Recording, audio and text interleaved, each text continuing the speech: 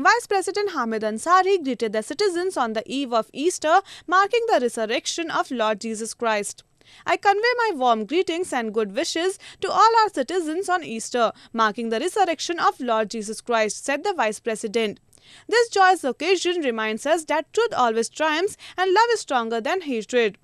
Let us celebrate Easter by being compassionate towards fellow human beings and by strengthening the bonds of unity and fraternity amongst all, he added.